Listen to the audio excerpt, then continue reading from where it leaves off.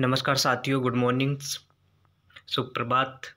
आपके साथ मैं महेश कुमार और हमारी शोर्स सिलेक्शन एमसीक्यू टेस्ट सीरीज़ का यह पार्ट टू है, जो आज हम डिस्कस करेंगे। ठीक है? ये जितने भी अपकमिंग एग्ज़ाम है UP PSC staff nurse AIIMS N H M उन सभी के लिए ये एमसीक्यू सीरीज़ इम्पोर्टेंट होने वाली है। तो आगाज़ कर दिया है। आगाज़ कर दिया है अपन ने।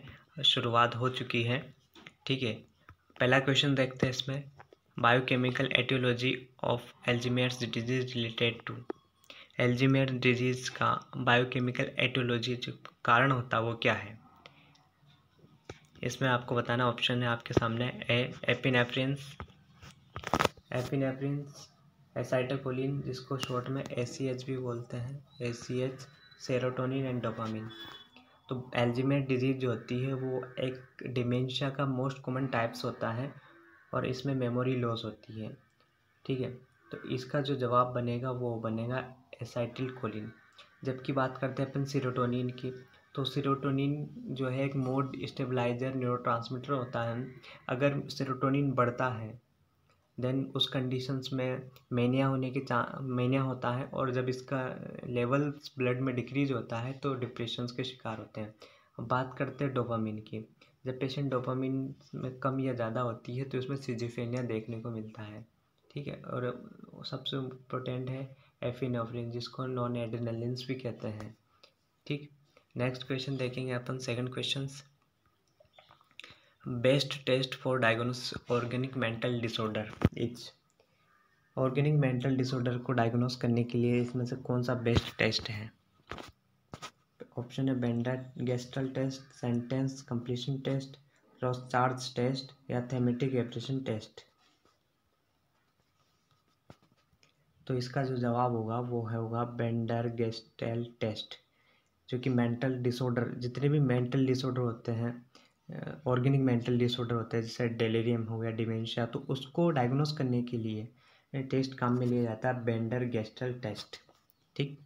अब इसको एक्सप्लेनेशन से समझते हैं कि Bender test, Bender Gestalt test is a psychological test use by mental health professional that assess visual motor functionings development disorder and neurological impairment in children age older and adult, ठीक है?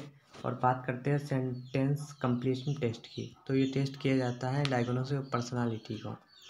रोज charge और thematic apperception test जैसे projective test होता है, जो कि personally structure को patterns and through an emotional problem mental disorder को डायग्नोस करने के लिए टेस्ट किया जाता है। ठीक? नेक्स्ट क्वेश्चन देखेगा अपन।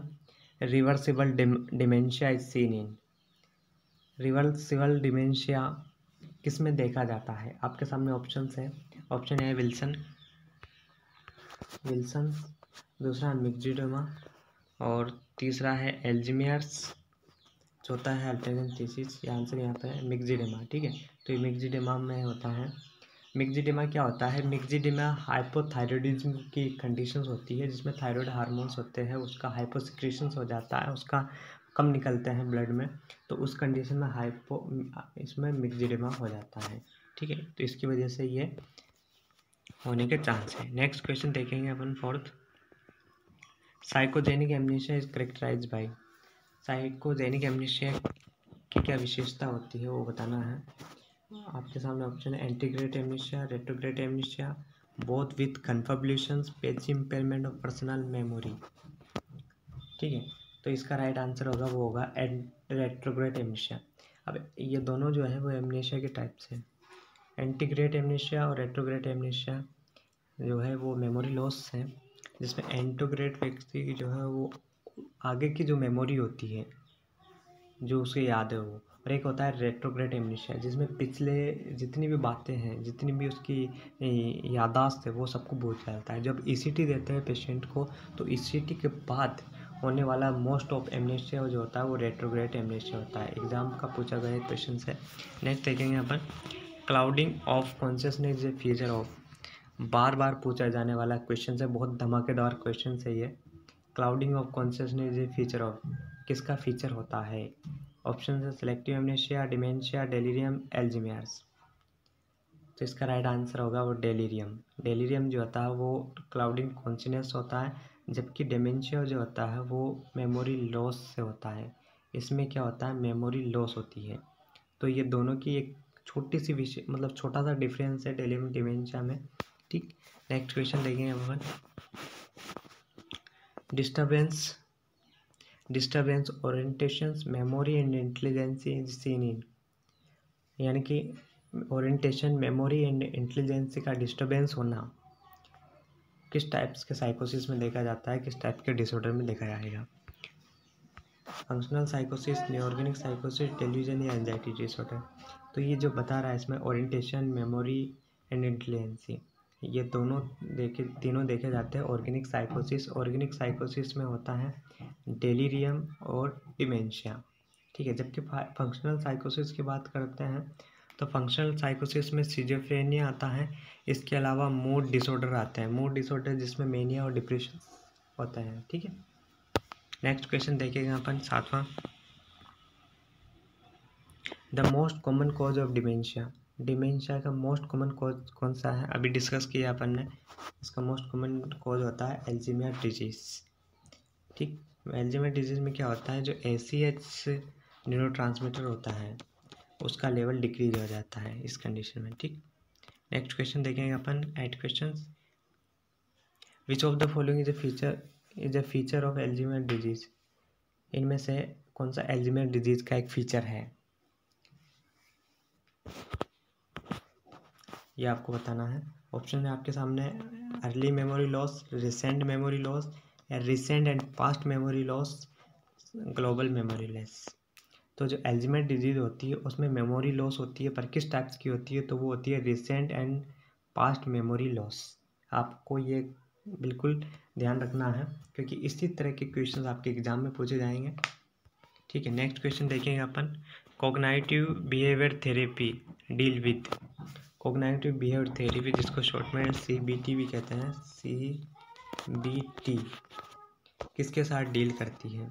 ऑप्शन है unconscious motives maladaptive assumption psychodynamic conflict या emotional consciousness of automatic thoughts cognitive behaviour therapy deal करती है माल एडेप्टिव एजेप्शन के साथ। ठीक है तो इसका राइट आंसर ये होगा बी नेक्स्ट क्वेश्चन देखेंगे अपन ten which of the following is not a neurotic disorder इनमें से कौन सा न्यूरोटिक डिसऑर्डर नहीं है? Panic disorder, conversion disorder and dissociative ये तीनों जो डिसऑर्डर हैं, वो तीनों डिसऑर्डर क्या है? तीनों डिसऑर्डर है अपना न्यूरोटिक डिसऑर्डर। जबकि इसमें एक जो बच्चा है, delirious delirious mania. Delirious mania यह होता है साइकोसिस डिसऑर्डर। क्या होता है? साइकोसिस डिसऑर्डर होता है। ठीक है तो राइट आंसर अपना क्या जाएगा? सी नेक्स्ट क्वेश्चन जो है, हमारे दो क्वेश्चन आपके लिए अपन रखते हैं। इसका जवाब आपको देना है। Acute brain syndrome is also known as acute brain syndrome किसे कहते हैं? ठीक है, और नेक्स्ट क्वेश्चन है। According to I C D according to I C D ten organic mental disorder varies in F series यानी कि आईसीडी जो दी गई है इंटरनेशनल क्लासिफिकेशन ऑफ़ डिज़ीज़ उसमें ऑर्गेनिक मेंटल डिसऑर्डर को एप सीरीज़ में कहाँ पर देखा जाता है? कहाँ पर इसको रखा गया है? ऑप्शन है, ये आपको बताना है इसका जवाब। एफ़ ज़ीरो से F zero nine F twenty से एफ़ ट्वेंटी नाइन और एफ़ थर्टी से एफ़ थर्टी नाइन या ऑल ऑफ़ द इसका जवाब आपको नीचे कमेंट बॉक्स में कमेंट करना है। इलेवेंथ और ट्वेल्थ क्वेश्चंस का जवाब, ठीक है? अब पिछले पार्ट वन का जो क्वेश्चंस हमने आपको बताए थे क्वेश्चंस, उसका जवाब देखते हैं अपन। उसमें एक क्वेश्चन था आई सी डी टेन किसके द्वारा दिया गया है? तो आई सी डी टेन दिया गया है डब्ल्यू एच ओ के द्वारा और डी एस एम फाइव दिया गया है अमेरिकन साइकेट्रिक एसोसिएशन जिसको ई ए पी ए कहते हैं, ठीक है?